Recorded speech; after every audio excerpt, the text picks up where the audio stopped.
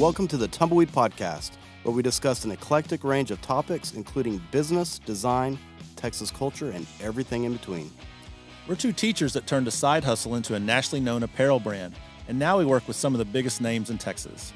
We strive to never stop exploring and continue to draw inspiration from our adventures. So drift and explore or raise a glass. We're always ready to hang out and talk about the things that we love. So come roll with us as we drift and explore.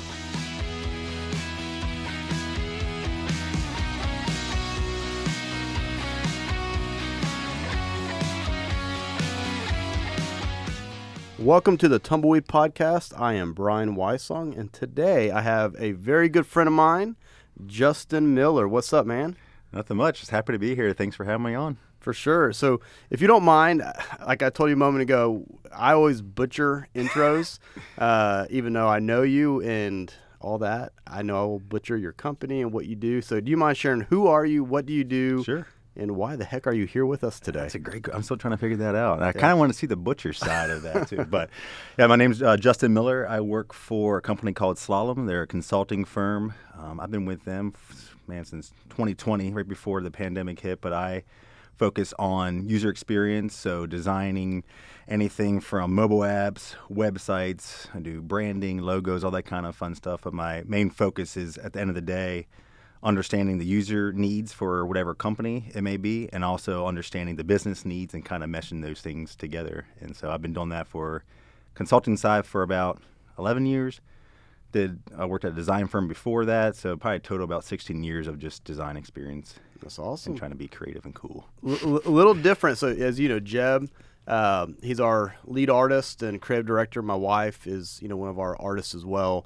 And we've never dabbled in user experience. has always been talking about the creative process and Yep. how how do they get inspired. Uh, so, what exactly is user experience exactly? Yeah, so it's really focused more, like it sounds, the user's experience and whatever it may be.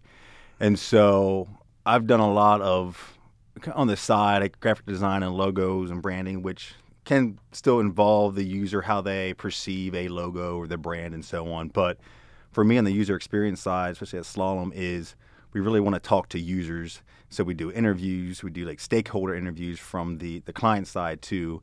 And so just gathering that information, we also will look at like say Google Analytics, look at data to really back up des- design decisions down the road as well. So it's really looking at those things, uh, qualitative and quantitative, you know, data Yeah. to really kind of back up the design, which has been super helpful. I learned as a young designer where before you design some say masterpiece, but then the client may na- may not like the color red. Well, that's a part of your brand. We got to use it. So now, and what I've learned over the last, I've been using data more and more, but probably the last eight years, is backing up the decision making with that kind of data. Where say someone wants to have an, a, a navigation on a on a website, hey, I want to have 30 different ways to get around. Well, today you can show with Google Analytics or other things where data to prove that hey, only you know five percent of people are going these different areas. You really you want to focus on this piece. So it's really just leveraging that data and then user information from those interviews and also just talking to the stakeholders at the, the company as well. Very cool. It's uh, a lot of times I, I've used this analogy before, but our artists create out of the inspiration of their heart. Yeah. Designers, to me, create out of the strategic purpose of what they're trying to accomplish. Mm-hmm. Uh, and to me, I think the user experience uh, concept is a missed element for many designers because they are typically designed to what they like rather than what's most strategic to the consumer. I remember when you and I first met. Well, we didn't first meet, but the first time we sat down, uh, it was at the Thai, uh, Best Thai uh, sushi or Oh yeah, actually somewhere on, on Main Street here. yeah, so it's, I don't know, it's Thai food. Yeah. And I remember you started sharing exactly what you did, and I thought it was awesome because I've never heard. I, I didn't know about your company. I didn't Yeah. know what you did, and that stuff fires me up because I love the strategic side of marketing, right? yeah. Um, so with you, uh, not I know you can't share a company name. hmm Uh, I know that, but is there maybe an experience that uh, that a process you went through of that user experience that helped a company go from good to great, or Mm-hmm. much better than where you know where they were before you got your hands on that business. Yeah. Yeah, there's a couple that I've done, and it's more in the e-commerce space. And I always love e-commerce because at the end of the day, it's a simple kind of uh, solution or problem to solve. Is just getting someone to the site and getting through the checkout flow. Right. So it's that same flow, but it's how to get them through it. And maybe there's moments of delight where like, oh, that's pretty cool. This animation comes in, whatever it may be. Um, but there was a client that we did work with. Um, this is before Slalom, another company I worked for, and um, we did like A/B testing. So we would see, okay, here's one route that a client or the a user would go, and here's another route they would go, and then we would test to see which one was more successful. And I forget the number, but we made them millions more just because of tweaking throughout. And then, you know, we follow like a, a sprint cadence. So we're always iterating. And so we do two week sprints where I'm working alongside developers, showing designs, and then showing how we've iterated from the last, you know, sprint.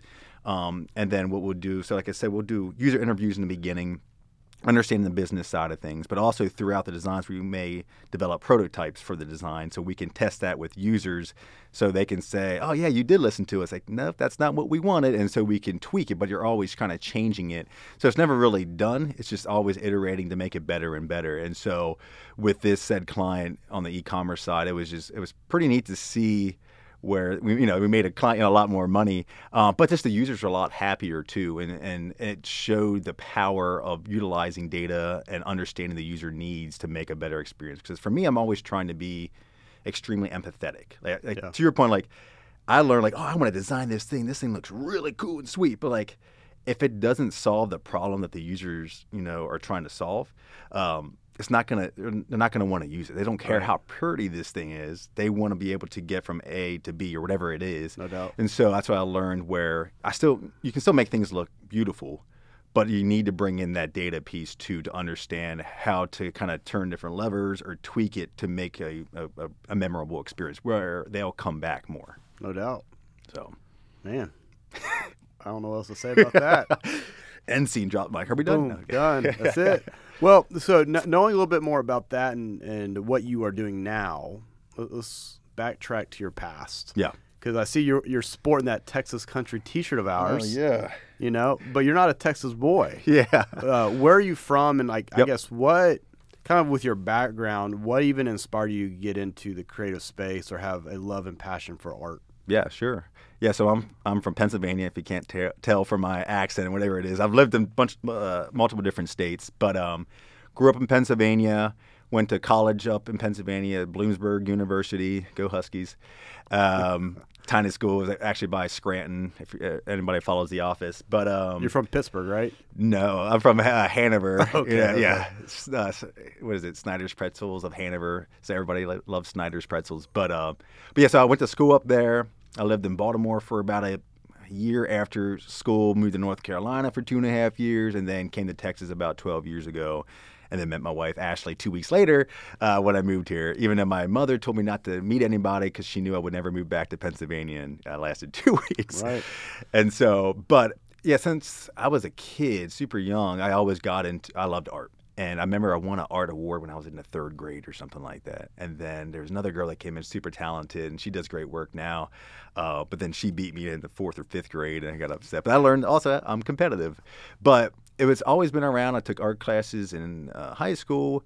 And then in college, I was undeclared for like two years. I didn't know what I wanted to do. I was like, oh, maybe I'll go and be an architect because I loved Legos and building things. I love being creative. But like, well, I'm awful at math, so maybe architecture Right. isn't where I should go. Definitely wouldn't want to be in that building. Yeah, yeah, yeah. Good thing I didn't go that way. Um, but at the end of the day, so I, I think I was like, I'm going to major in marketing and I'll minor in art studio, so traditional art. And then I did that for about a month, and I was like, "Why am I taking you know accounting classes or this stuff you know for marketing? Because I I value marketing, but I just my passion wasn't there." So I told my advisor, "Hey, I want to get into I want to be an art major." And she's like, "Well, you're going to be a starving artist. Like, how good are you? Yeah. Can you, you're going to be successful?" And to me at the time, it's like, you know what? I just want to follow my gut. I prayed on it. This is what I felt God wanted me to go. This is my kind of calling. So I did it, and luckily I got into graphic design that way because I was like an art director of a school magazine for a couple years. Just kind of jumped in. I, I took one Photoshop class because this is back like they really have graphic design classes. So I took one class in uh, Photoshop, but then I learned you know, at this magazine, and then I worked for a TV station too, at the graphics behind the anchor. I was doing that kind of stuff. cool. So, but I learned, I loved it because with painting or like drawing, like you make a mistake, you got to paint over it and start over. Where graphic design, you hit Command Z and you just start over that way. Yeah. You know, you don't have to redo everything. So that's kind of what got me into it. And then really throughout my career is just learning on my own um, learning from others that were better than me. Kind of being, I always tell young professionals, just be like a sponge and just suck up that knowledge. Um, that's how you can grow so much faster. So It's crazy because my wife Hillary was also a, and I don't know the correct terminology. You know, like for me, I was a business administration major with a focus Okay. on marketing. I'm not sure what the graphic design major was, but whatever it was uh, at Texas Tech, she went there because there was this was what in 2003. okay, I mean, there was only two schools in Texas, uh, in the state of Texas, that had a gr- specific graphic design major. yeah, It's crazy that fast forward today, I bet every university has that. yeah, You It's- know, Yeah, it's crazy because at the time, yeah, because it was around the same timeline for me, and I'm sure there's other, you know, schools that had it. But like, do I want to leave the school? Do- I'm not sure I really want to do this. There's already a risk going down that path, but I was like, you know what, I'm gonna, because the great thing, because I got my bachelor's in art studio, so it's more on drawing, painting, 3D design, but not 3D Pixar, actual like sculpting. yeah, But the cool thing about that is I could take that experience and mesh it into the digital space too. Right. And so yeah, it was it was interesting and that's what I tell designers today they have a head start because if they are going to school for that, then they have that knowledge. Where for me, I worked for a government contractor in North Carolina. And it was about 40 designers, and there was certain ones that were really good, and I just latched onto them. And so I would work, you know, nights and just make my own dentist website. And there was no dentist; I just made it up. But I wanted to practice my skills. Like, how can I? And this is back in, with Flash and stuff like that. Right. But I really had to learn, read books, learn online, all that kind of stuff. Where now, yeah, there are a lot more opportunities for it. for sure. Now, with with that background, let's fast forward to your time in Frisco. Um, I want to say there's a little story about you playing a sport. Uh, was it like a football, I believe? Oh yeah, what, what, was, what was that experience? Yeah. so me and my buddy Sean at the time, we we tried out for a team. It was like the Lewisville Savage. It was a it's, they called it semi-pro. I don't I don't know. Maybe less more semi, less pro. but uh but we I mean we tried out. It was funny. We had to do a 40 and all that kind of stuff. And for the for about 5 minutes I had the fastest 40 time and then someone else came and beat me. So I was pretty you, proud you look, of that. you look pretty quick. Yeah, I, I ran a four six, I think it was. Oh, that, so oh, horrible. yeah, I know. I got benched. No, but so at, with it was a cool experience. Um, I played like every position because you know trying to find guys to play and stuff like that. And I think once a year they would have a guy go up to the NFL and play. I don't know how much they played in the NFL, but that was it. So it was to that level. Um, I'm glad I did it, but the one time my hand got smashed in between like two helmets, I couldn't feel it for the entire first half. I was like, I think I broke it. Luckily, I got feeling back. And I was like, you know what? I need to do my job. if I don't have my right hand, That's, that's when they put you at quarterback. yeah. Oh, yeah. That's the one. I showed up to a game, and the quarterback was hurt or something like that, and they said, "Hey, you're going to start a quarterback." I've never played quarterback in my life, other than backyard football. So I've never taken a snap before.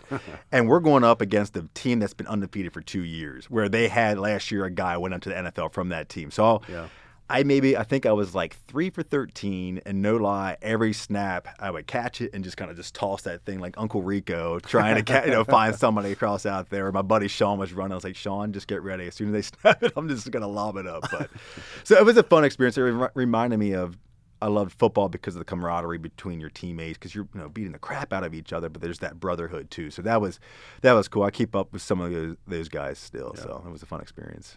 Now coming back to that Texas country shirt, uh, and now that people have heard you're not necessarily a Texas boy, Yeah, but you've obviously embraced something from here because you're wearing the shirt. yeah. Um, what, or, or- and I know the answer to this, but I'll let you speak to it. But you've designed a logo for a an, uh, an up and coming musician from Frisco who's very much a very strong um, in the Texas music scene and the Mhm. Nashville country scene as well.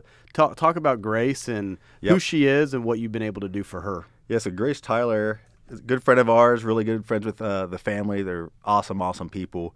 Um, yeah, we met Grace and her family. I think Ashley, my wife, was doing the she Battle of the Legends, you know, a kind of like American Idol type, you know, competition, and Grace was on it and she Yeah. won it. And I think she was super young. Sorry, Grace, I don't remember how old you were, but I remember seeing hey, this little tiny little girl and her voice. And I still like there's songs that she does today. It's just it's so neat to see her progression throughout her career. And I still get I get chills now. Yeah. Just to see what she's done. And I still just impressed. Like there's, I, I get, I, I'll tear up with some of her songs. Are just so, so good at her voice. And it could be the, you know, a national anthem, which you know you hear all the time, but the way she sings it is just amazing. And so I was lucky enough to do some work for her over the years. I did like a logo. I got to do a T-shirt. Worked with, a little bit with you on, Yeah. and so it's just fun to do that and see her, you know, and when she's in town, when she's not, you know, in Nashville. So it's been great just. Uh, seeing how she's grown over the years, and then just our bond with the, the, her and the family over the years has been great too. See, Je- Jeb's the artist, and he loves other aspiring artists. But for me, being the marketing business guy, I was like, why are we printing a shirt from a design from some other dude? yeah, It's been pretty cool to get to know you. I'm okay. This is we, we can do this now for you. yeah, it's okay now. Yeah. Um, and I'm sure it's you know it's I want to say it's your logo on a shirt's one thing, but is it the same that logo on the drum? So- yeah, so I forgot because I did, an, I guess, a couple variations, and I think maybe the the logo you guys did as well. I think Jeb did.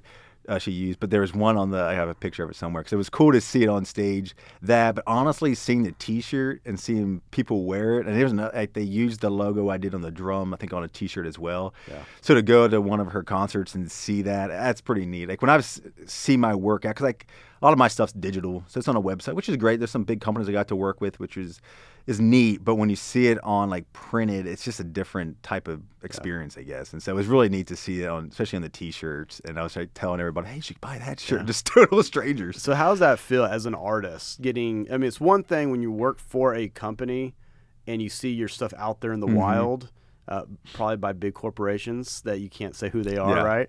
But how does it feel when you you as an entrepreneur and a true artist, not designer, uh, was able t- to design something for a musician and you see it out there Yeah. on a shirt or on a drum, on a video, on you know, obviously social media. What's that feel like? I mean, it's pretty awesome. There's a mixed feeling too, like, oh, wow, that's really cool to see this. Man, I hope they sell these T-shirts Yeah. too. they Yeah. don't sell, Did I do good work? You know, I'm always, I think designers you always do that. Always kind of question things, or anytime, especially printed, you Yeah. just look at, it, oh, I would have done this different and that. Because that's the nice thing with digital, you can go back and make changes. With print, once it's done, it, it's done until you, you know, another batch later. So um, that experience is pretty it's a lot of fun, especially that because it's unique. 'cause I don't I don't do it that much, and so when I do do it, and then two, I don't really sketch. Um, I have sketched out kind of design, so that one was all hand drawn. I don't do that as much. I know that's Jeb does it, uh, Hillary does it all the time, but for me, that was unique. Where someone like Grace, they asked me to do this. Like, well, I think I can do this. I don't really, I haven't really drawn in about you know five years. Yeah. um, other than sketching on a whiteboard and stuff. So that was the other part too, where I was kind of nervous about. But at the end of the day, I was proud of what we came up with. She was super happy with it, and then to see it there, it was neat just to kind of see it all kind of come together, and then see it at one of her concerts. cool. Yeah. I, I dragged you along to two different Texas country uh, concerts over the last two years. Um, Yes. uh, my birthday last year, it was Aaron Watson at the Rustic. Yep. And then this year, it was Cleto with Yeah. Zane Williams and McKinney. Yep. Uh, what, what, what, that's to me one of the best experience I've ever had in the sense of music was Mm-hmm. seeing Cleto and um, Zane because it was so intimate. Mm-hmm. Uh, kind of that experience. What, what was that experience like for you sitting there listening to that music, seeing a guy that your wife is uh, admires and Yes. yeah. What was that like? That was really cool because yeah, because I never really listened to country. Now Ashley has got me into country more and more, but I love especially Flatland Cavalry. Listen to it's more that kind of fol- folky uh, sound to it, and to be in that more inti- intimate experience with those two, the atmosphere, uh, it was probably one of the best music experiences I've ever been to. Because I wouldn't really call it a concert because it was just so intimate and smaller.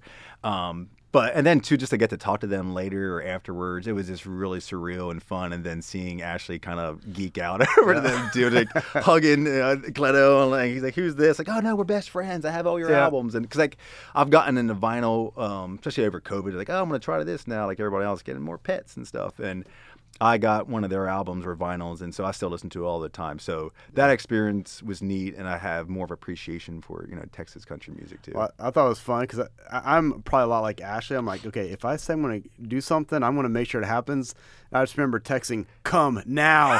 and so y'all y'all came running, and I got Yeah. y'all backstage. Oh, yeah, uh, that was- And people were lined up waiting to get pictures with him, and everyone was waiting on us so that Ashley get her hug. Yeah. You know, um, but She I thought that was cool. about it. and Yeah. he, he he he remembers that. You know, he I think he is all the people he probably meets every day at every event. I think it's pretty cool um, because after that he reached back out about that night. Oh, yeah. like how are y'all doing? That's pretty Kinda, awesome. You know, um, my dream and bucket list is even though I'm not the artist, is that we can design a shirt for Flatland. Yeah. that would be awesome. That, Oh, yeah. that will happen in the next couple years. Yeah, and I think their style, at least I've seen on, I forget which album it is I have in the vinyl, but definitely would fit with your guys' brand or what you've done in the past. Yeah, so I would sure. think that'd be an awesome relationship. But shout out to I believe it's LY uh, Barbecue.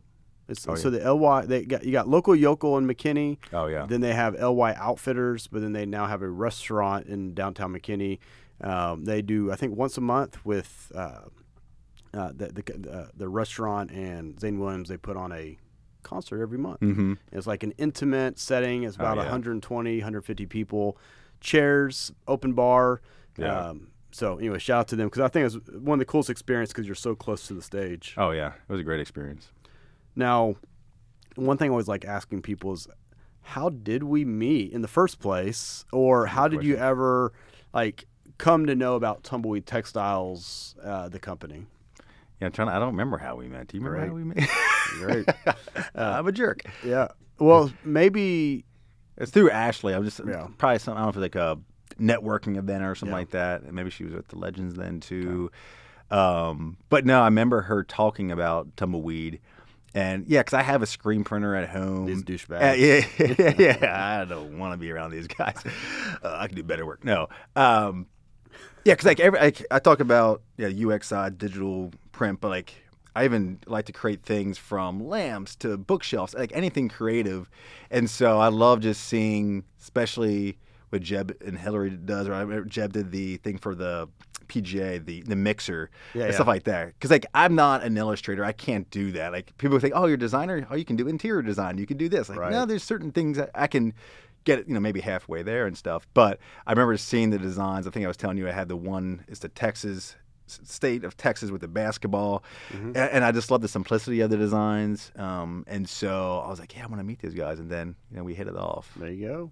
Now, now we're actually in a uh, a life group at our Yep. church at Hope Fellowship, uh, and it's actually crazy because I I think now I just realized you uh, and Asha the first two spouses we've had both of you on this podcast Oh, at okay, some there you point. go. So yeah, so Did I we mean, get a prize or she something? she no? made such a good impression that we decided to bring the better half. You know. Yeah, we'll see. I mean, usually it's Ashley leading these things, or I sit up in the background just holding her purse. You know, Yeah. Like no eye contact, but you know. So yeah, I'm I'm happy to be here, man.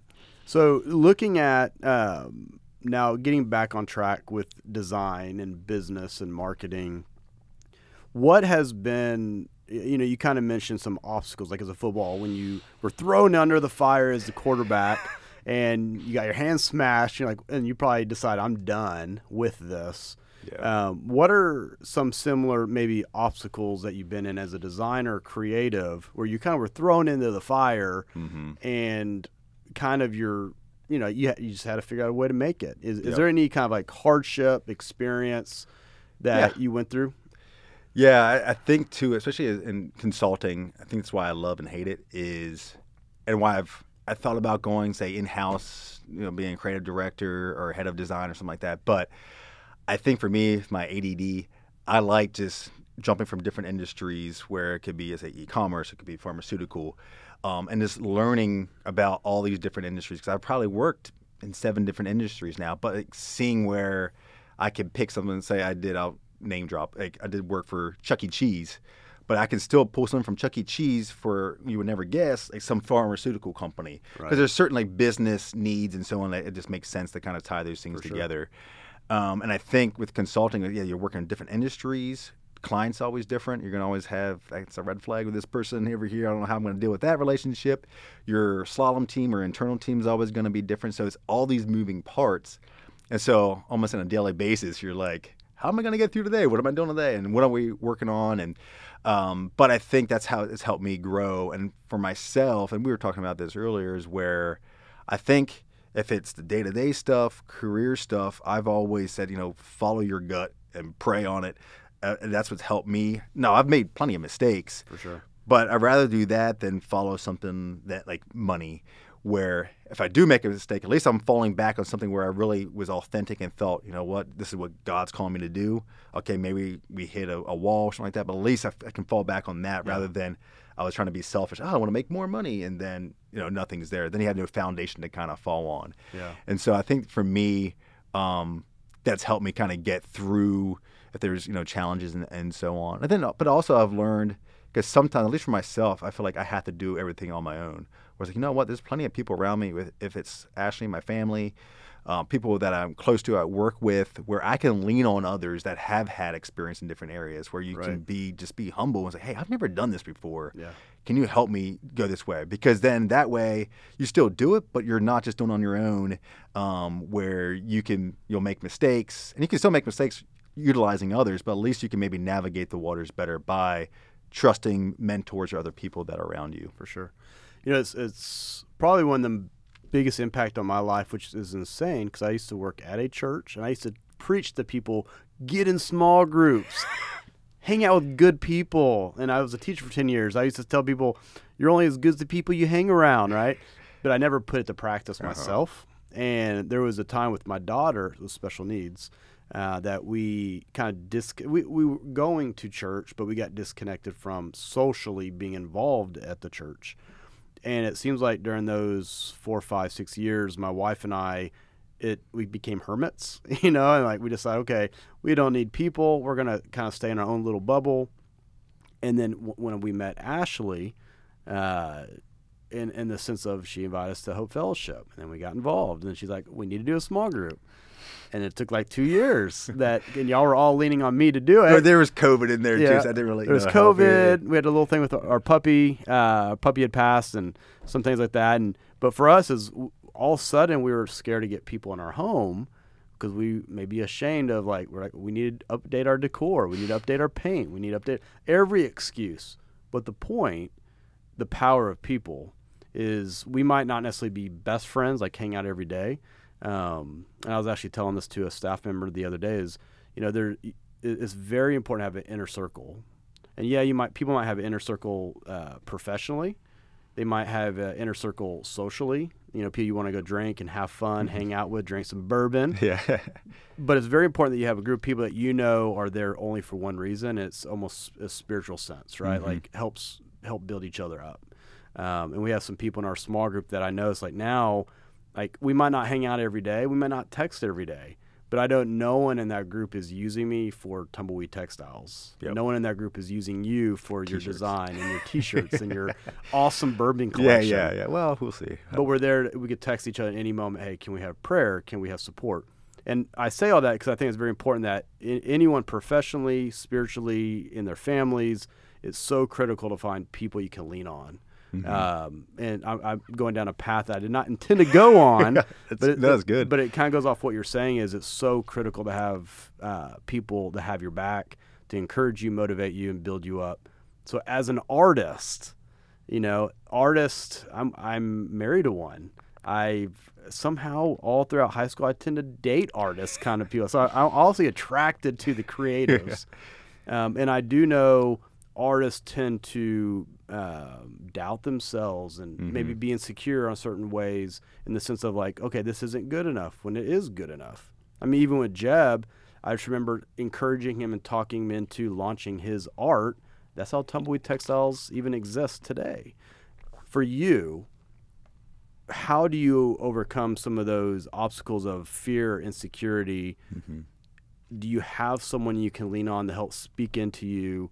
Like what what does that look like as an artist, not at, at your company, but as you as an artist, true artist at home with your creative things that you do?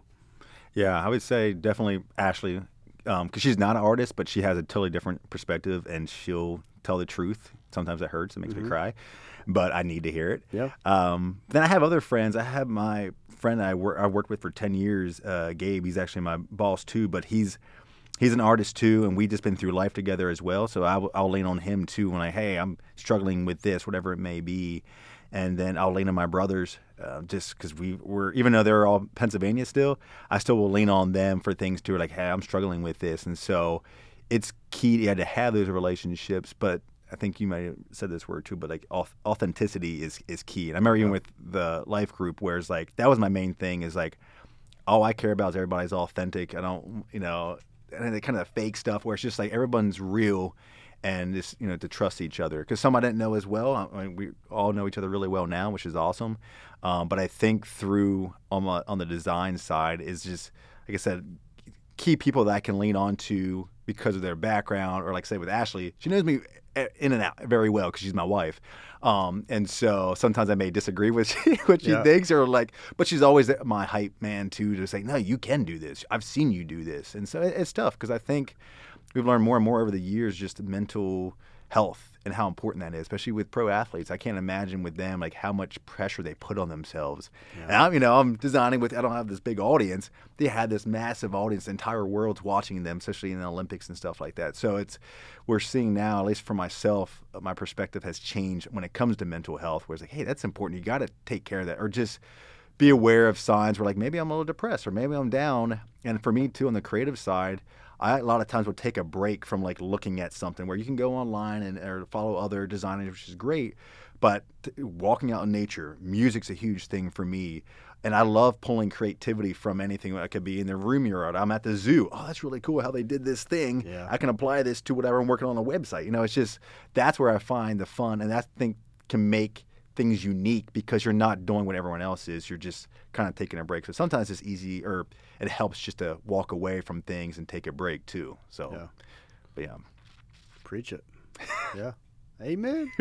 um, now, I mentioned bourbon. yes, It seems like almost every artist, at least male artists I know, are collectors of something. Yes. And for Jeb, it's everyone knows his junky trinkets. He like he loves cell phones. Uh, Doesn't he have cell phones? well, he he had he found some flip phones from like over the years, kids that basically gave gave him away for art projects. Yeah. and he was cleaning out his uh, a bin, and he found like a whole box of them.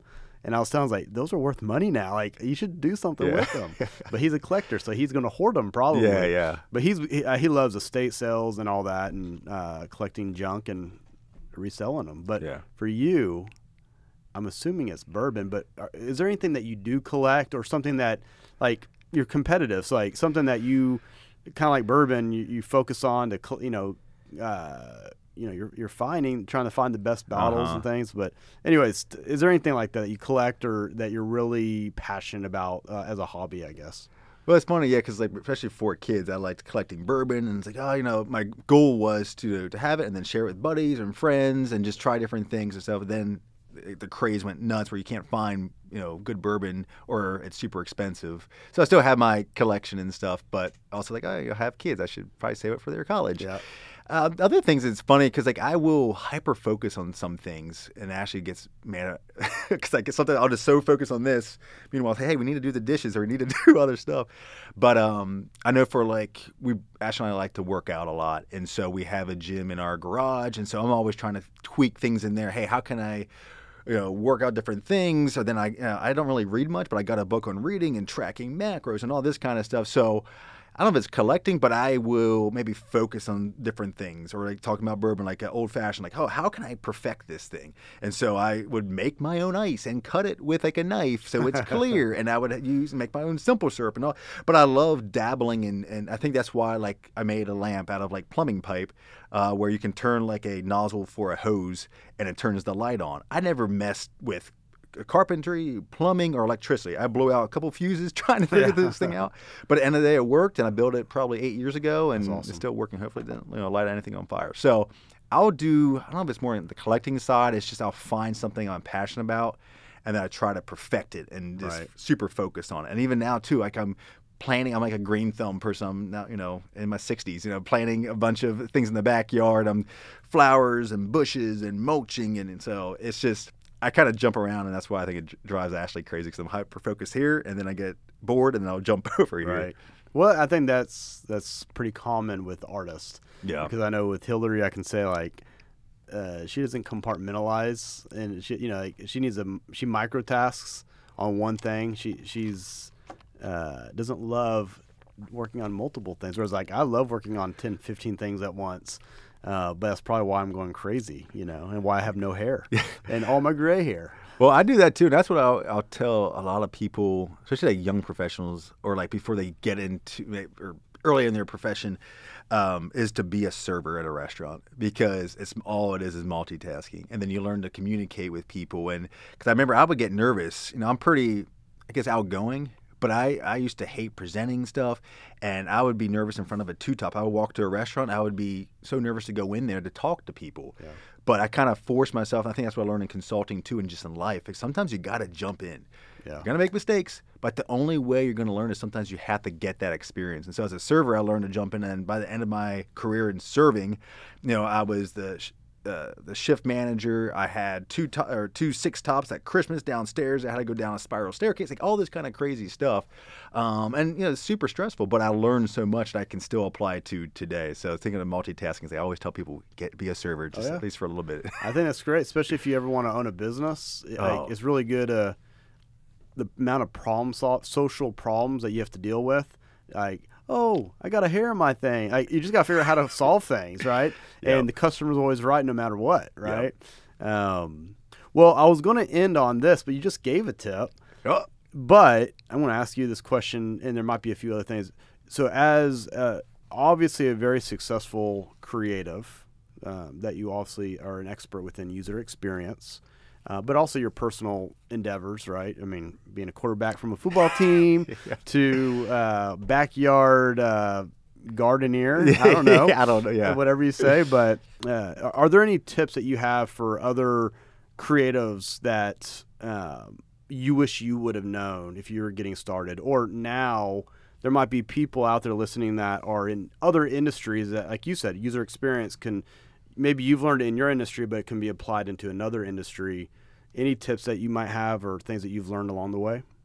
Yeah, I think the one thing I already mentioned was definitely follow your gut. You're gonna get pushed back on things if it's from family, professionals, whatever. Even you're and you're mentally like, I don't know if I should do this, but I think always follow your gut and pray on it. Um, because even now, like for me, I'm still trying to think through. Okay, what do I want to do the rest of my career? Right. And so there's times where I, you, yeah, you get talking about multitasking, having a bunch of stuff in your head, like you get caught up in that stuff. So there's times where like you know what, you got to take a step away and really focus on what you want to do and and follow that. Doesn't mean you have to do it the rest of your life, but like at least if you f- do that and you took a wrong turn or made a mistake, at least again you can fall back on that. So that's the one main thing I've learned in my career where I'm glad I've done that for the majority is kind of follow my gut and just kind of ask God, hey, what do I need to do? What I don't do a great job of it, but I'm always pushing to do Yeah. a better job of it. Um, the other thing I would say is I mentioned this too is you know find people that are smarter than you. Luckily for me, there's a lot of people that are a lot smarter than me all the time, and so but I always will lean on them to understand. Okay, why? How did they get here? Why are they asking these great questions? Like I, I should, I want to be asking these type of questions too, and just thinking outside the box. I'm always, especially early on, where I didn't have really any experience. Like, how do I uh, excel in my career. So always, you know, working, you know, with other people um, and finding the, the smartest guy in the room. Um, sometimes they, they might be a jerk, so maybe don't, you know, talk to that person. Yeah. they, you know, but uh, authentic people and that are smart and that are, you know, willing to help. Because there's people I can still I talk to today. that I worked with back 15 years ago in North Carolina that I, I lean on and, and aspire to to be like. I love it. Um, trying to think, there's some other ones I had, but yeah, th- there's probably the, the main. Oh, another thing too. This is more specific, but like when designing, I've seen a lot of designers will get so focused on stuff. Like, Yeah. like I said, take a step back, walk do take a, a hike or go, jump on a whiteboard. Like I love having a whiteboard is so important. I wish I would have used that more as a younger designer because I would get so nervous. Like, hey, you have to create something, and creativity doesn't come like this. Like it, it takes time. It could be super quick. It could take a day to get there to come up with a creative solution. So for me, rather than jumping in Figma or on a canvas, like sometimes like, okay, what uh, what's my strategy? I'll kind of whiteboard it. It doesn't have to be a sketch. It could just be, you know, words or whatever. So that's the thing too is like before you jump in, have a plan and then it'll help you in the long run too um, as you go through. Rather than you jump in you got to jump back out jump in so that's always helped me as well. Love it. That's good. I love the advice. I need it myself and it, hopefully i'm not the jerk that you're around. Uh, it depends on the day. yeah. it's okay. That's right. no, my wife not. tells me that every day. Um, i want to end on two totally random things oh cool. that have nothing to do with the conversations we've had okay one I just drew a blank. No, no. Um, if, if if you had the opportunity to uh, uh, choose one movie, one TV show, or one song that you would be able to listen, that, like, that would be the one thing you have to listen to or watch for the rest of your life. Everything else is gone. What would that be? Now I can pick one of one, one thing. Period. But I made it easy. You could choose TV, movie, or or music. Okay, I think I know. So I think I'll pick movie, and it'll be Shawshank Redemption. Okay. Um, just great movie because I think a song they're short. I'll get tired of that after a while. Yeah. There is a TV show we just watched. It's good, but it was depressing too. It's like, I don't want to keep watching it. Yeah. Depressing. Shawshank, there's some Guess, sad parts, but overall the end story is pretty. You know, it's just an overall great, movie, yeah. yeah, great movie. So I'm gonna do that. Now, inspiration as an artist, as a dad, your kids are awesome. Um, as the husband of Ashley Miller, that's a handful. I'm kidding. I'm totally kidding. I promise. Uh, what what inspires you, right? Like motivates you, and, and not as an artist, like not art, mm-hmm. but like in life. What drives you? Like if you had to like really pinpoint the thing that really gets you going what might that be? And that could be career, family, personal life, hobbies, yeah. any aspect of your life. Yeah. That's a good question because there's a bunch of things that I try to pull. Cause I try to pull inspiration from everything. Like I said, music, if it's going on walks, getting away from stuff. But I think when it comes down to it, at the core of me, it's family. It's I want to be a great husband to Ashley and then really get kicked into hyperdrive because I always wanted to because like Ashley does great things, especially in yeah. the community, and so like man, I need to be like her. I don't do these things, but I do it on the creative side or whatever. Uh, there's you know things intertwined there. Um, but then when we had Finley, my daughter, who's five now, and then Oakley, who's three, which was a whole other story because we had him during COVID. But when I see them, I was like, how what is my legacy going to be? I want to inspire them. I want yeah. to, and that and it comes back to being authentic because that's the thing. You know, kids can see through you. They will oh, yeah. call you out on it. And so for me, I'm always trying to think through. I love what I do. Am I happy with? You know, am I con- continue to be happy with what I'm doing? Are they going to look at the stuff that I'm doing and be proud of it? Um, but not only on this career side, I just like I want to be involved with them too, and I try to. That's the good thing with COVID and being you know home more or remote. Um, it's changing now; it's more hybrid. But I do have more opportunities to be around them, and I try to take that in. So I think that's always inspires me. I think too, I put more stress on myself too when my kids were born. I was yeah. like, oh man, I, I gotta you know provide. Uh, I need to also I want them to look up to me. I don't want them to despise me, which I know will come in the teenage years anyways. Yeah. But uh, but yeah, I think that the, the core of me is just I want to do right by my family. I want them to be proud of me. I also want to leave a legacy, which I'm still trying to figure out what that is. You know, I want to have something I can leave back that that they can take with. I don't know if it's some physical thing, you know, whatever it is. But that's money, my money, goal. Money. money. yeah, money. They would, yeah, want that. Yeah. But so, but at the end of the day, it's yeah, trying to be an inspiration yeah. to them. So I guess their inspiration inspires my inspires me. Well, I will I will say this: authenticity is a very important to me as well, uh, because the more we do tumbleweed, and as a teacher, right, like you work with a bunch of knucklehead kids, uh, you realize how few people are truly authentic and real. Um, and for whatever reason, there's always a reason why, but whatever it is, it's hard to rely on people. And you're one of those people out of all the men that I know Uh, you're probably one of the most authentic guys that I know. Period. Um, Thank you. as a friend, you I know like Hillary and I were talking about this. Like you're probably the one of the guys outside of a handful of people that are best friends growing up and things that I know without a doubt. Even if we're not hanging out every day, Yeah. if the moment I called you, if I need you, you'd be there. Um, I also, as a family man, I I never see you as like this like, like crazy obsessed worker for your career. It's anytime I see you, it's about your family, maybe bourbon a little bit, your backyard maybe a little bit, Yeah. maybe cooking pork or whatever Yeah, it might yeah. be, but. Uh, it's always about family, and I've never seen anyone that it seems like having the success in your career that you're having, but it seems like you always put your family first. Um, and I know Ashley does a lot of stuff in the community. She's very busy. She's very active in all the things that she does. Um, it's amazing that she can rely on you because you're always there supporting your family Mm-hmm. uh, when she's able to do what she does. And uh, that's you having to set your manly pride aside to do that. Yeah. And I respect that because I don't know. That's an area that I need to work on, right? I, I always I tend to put my career first, Yeah. um, and that's something. Seeing how y'all live has really inspired Hillary and I to want to start putting our family first. Um, it's just very critical. So kudos to you. Well, thank I, you. I, I have a utmost respect for you. That's why you're here on the podcast. Well, I like thank you. And, and I do want to give a shout out to Ashley because I, I pull a lot from her because she does a lot of things, but she does so much for the kids too. I mean, if it was up to me, the kids would not have mi- uh, mismatched clothes, hair maybe done. I don't know when the last time took a bath, you know. So she helps me be a better dad too. So, it, as you know, that- especially in a marriage, is all about teamwork, and it's you know ebb and flow of how that works depending yeah. on what you know, especially with you guys dealing with you know running a business and all that kind of stuff. So, but I appreciate it. I'm still trying to be better every day. yeah. Well, that's part of the process. So, Yep. um, man, thank you so much for joining us today. We fun. appreciate it. Um, do you have a, a, a social handle that you want to give a shout out for? Nah.